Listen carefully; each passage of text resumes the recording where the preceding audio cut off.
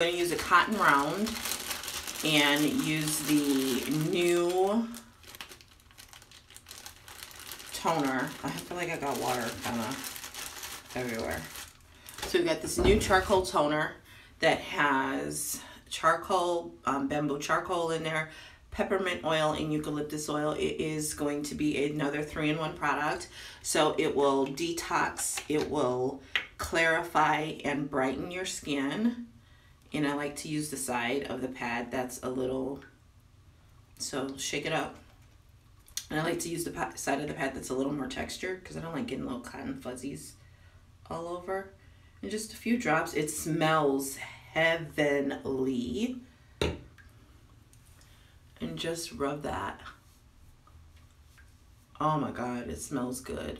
It doesn't tingle as much as I know it does for some other people.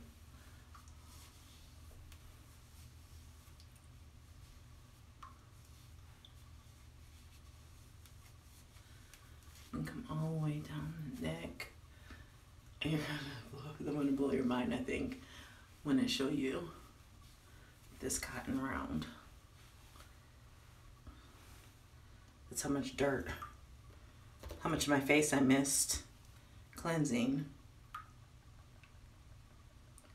So I'm gonna do it one more time just to be sure. This feels so good.